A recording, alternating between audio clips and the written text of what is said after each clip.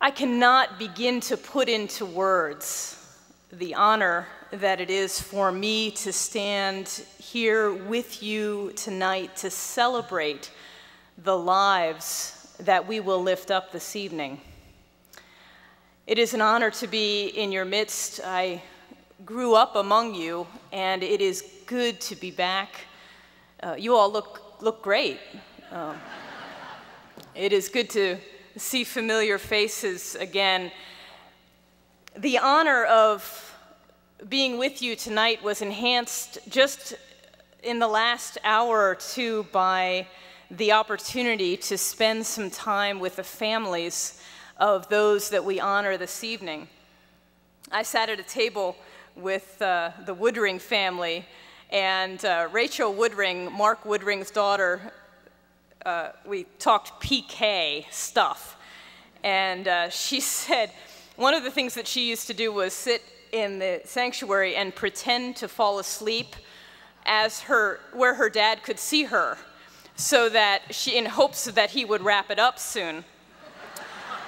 And I thought, oh, why didn't I ever think of that? What a great idea. So I'm going to keep an eye on Rachel from up here. So if, if she starts nodding off, I'll know to, to wrap it up. Oh, there she is. Okay, I'll keep an eye In a few minutes, uh, I'm going to ask you to do something. And uh, I know just by being among you the last uh, day or two that you are a vocal group, and for that I give thanks. I would like for you, if you would, um, in the next few minutes, to be in thought about those names that are listed before you, those names that we are honoring tonight. And no doubt there are one or two names on that list that you know maybe quite well. I'd invite you to think of a word that would help describe that person for you. Perhaps it is a characteristic that they had. A little later on, I'm going to ask you, if you would, from where you are, just to share the first and last name and that one word that you want to lift up, that characteristic. And it's not so much so that everyone can hear you, but more to lift it up in this wonderful cacophony of noise that I hope we have uh, among us as we pour out the lives that we remember. So I just want you to keep in mind that to keep that in mind as, as we progress tonight. It was a warm June evening, perhaps not quite as warm as it is tonight, almost 17 years ago.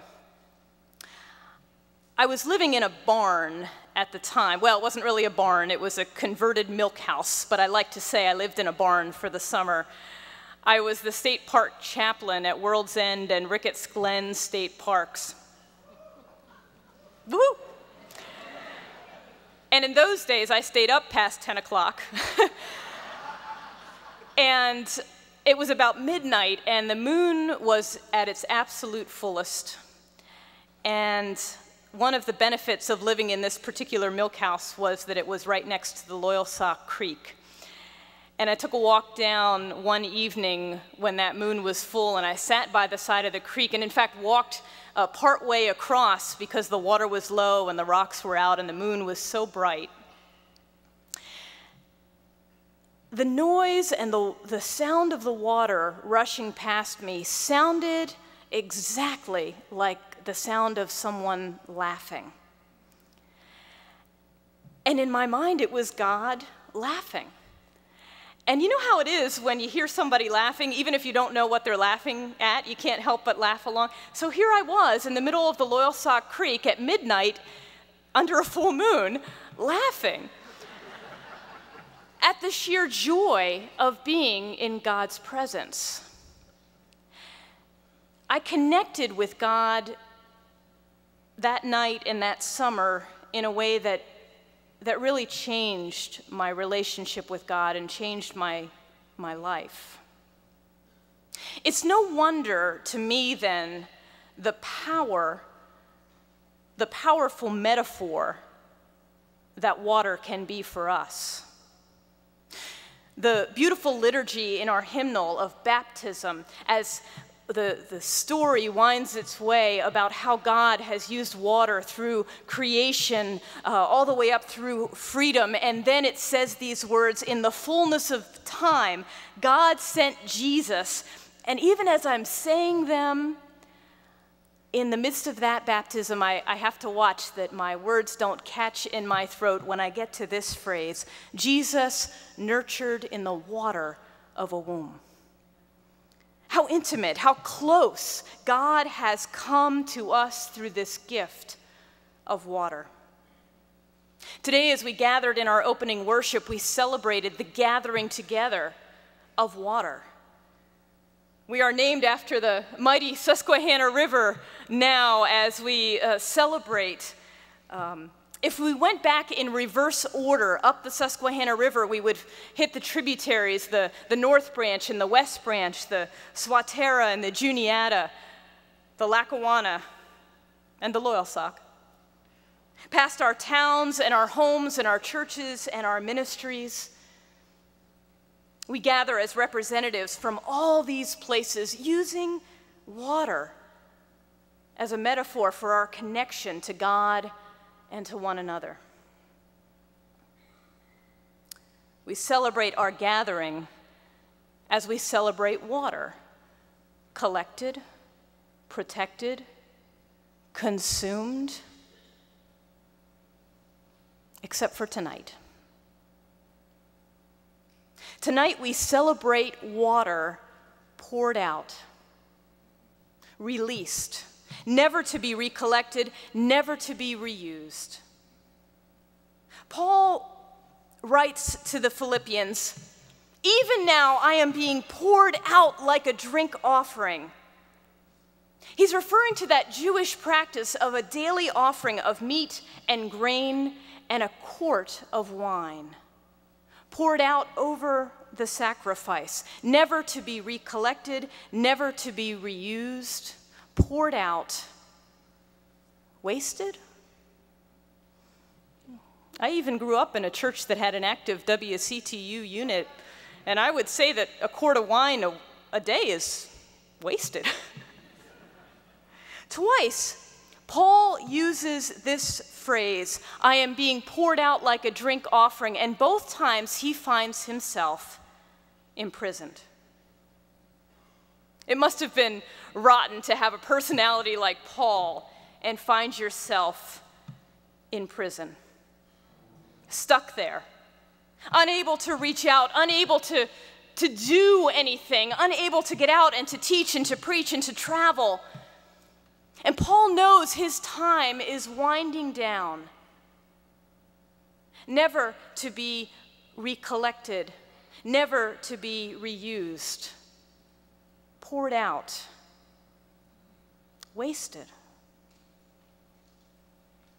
We object to wasted time, don't we? We're good at wasting things, but when it comes to wasting time, it's very difficult for us. I was walking around campus last night and I made the mistake of answering someone that I thought was addressing me when in reality they were talking on their phone that I couldn't see. You've done that, right? You've done that you know, walking around campus, and it was not a saunter, it was a purposeful walk with the pedometer. They were getting their steps in.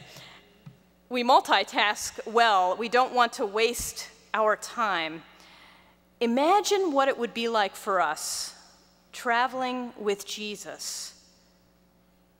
Jesus wasted time everywhere he went the unnecessary pouring out of resources of time into unprofitable and unpredictable people.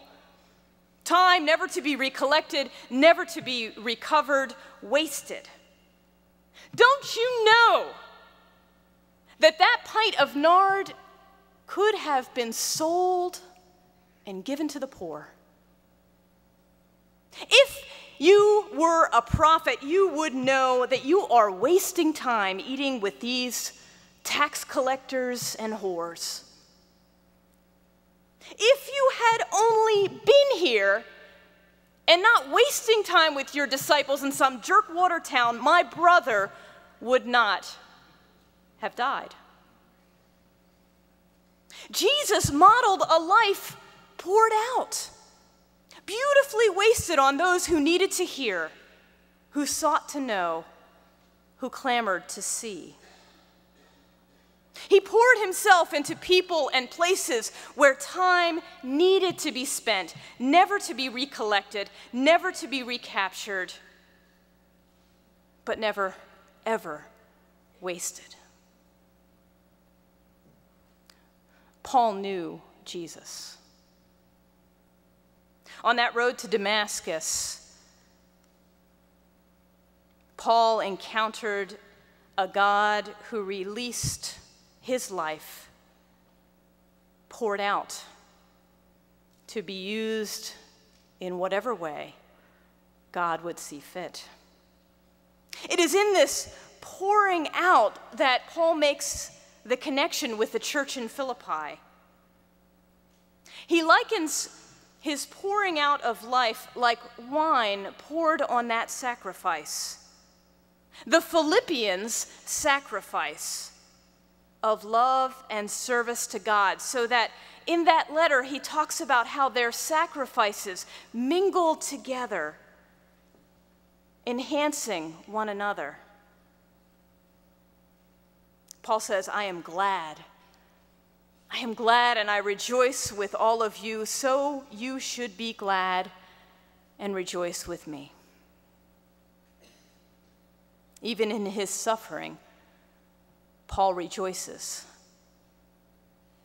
For he sees these mutual gifts touch one another and mingle together as they advance the kingdom of God. And yet, to truly pour ourselves out, to release the hold that we have, the control that we take on our lives, we have to let go. We have to be open to God's direction. We must respond to the invitation to pour out our lives. And what would that look like if we really did that? Last November, I had the opportunity to travel out to Columbus, Ohio to visit the Church for All People, built intentionally on the dividing line between the uh, Caucasian community and the African, African American community. There at the Church for All People, we encountered so many uh, different services that went on, but the, the one that touched my heart was an evening of uh, an open mic where people just got up and sang and shared their talents. You've never seen a church that had more diversity uh, culturally, uh, racially, economically. And I met Heath. It was hard to miss Heath. He was built like a defensive lineman. And he walked in and he just engulfed people with his embrace. Heath was uh, uh, a man who we would say was on the margins of society. And yet, in the years that he had been involved with the Church with All People, he had uh, got on the board of trustees and took his job very, very seriously. But Heath, for all his size, was one who was not afraid to be open to God's Spirit. That night that we were listening to the open mic, I happened to be sitting next to Heath, and there was a particularly touching song. And Heath just broke down in tears, weeping, weeping next to me, this mammoth of a man. And I, I kind of put my hand on his shoulder and tried to comfort him a little bit. across the room comes this about eight year old boy and he makes a beeline for Heath, and he, he stands in front of him, and even standing in front of him, Heath was sitting, this boy was standing. He still had to reach up to put his arms around Heath's big old neck, and he gave him a hug. Now, this little boy was white, brown hair. Heath, very large, African American. This little boy stepped back and he looked at me, and with his hand still on Heath's shoulder, he pointed to Heath and he said, This is my brother. This is my brother. I, I can't make this up. I, I was stunned. I said, it, have I ever been in a place that I have witnessed the kingdom of God more than in this moment? These two, in their mutual sacrifice to one another, mingle together in that moment and proclaim for me the kingdom of God in a way that I will never forget. These names, these names that are before you this evening, these names that we lift up in memory, they feel so close tonight. As if they are just on the, the other side of that veil in heaven.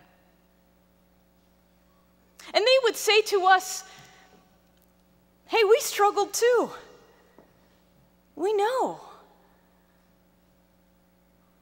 But what do we remember about these people? We would say to them, We remember your pouring out.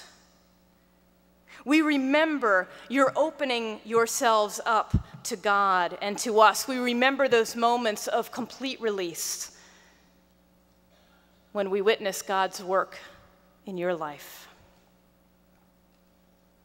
When I think of people on this list, I think of Charlie Klinger's laugh. I think of Bob Harala's stories. I think of Donna Cottle's wit.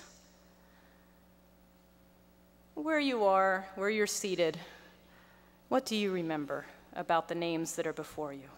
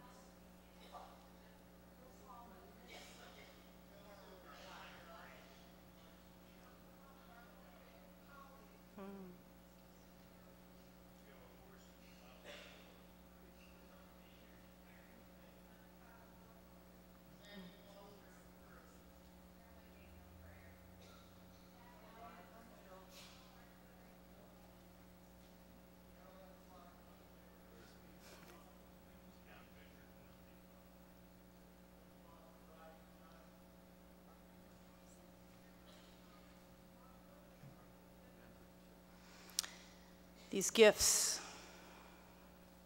unmeasured, poured out, never to be recollected, never to be recaptured. What a beautiful waste. What a beautiful waste of time as their lives were poured out and today mingle with our own sacrifices of love and service.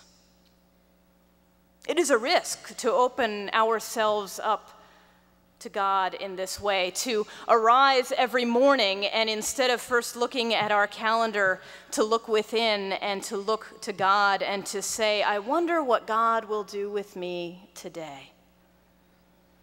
This morning, this meeting, this trip to the store, this time at my desk this moment with a friend. It is a risk to loosen our grip, to open ourselves, to pour out our very lives into the presence of God. For indeed, it will be time that we will never get back. It will be unmeasured and unbridled. But thanks be to God, we will find joy. Amen.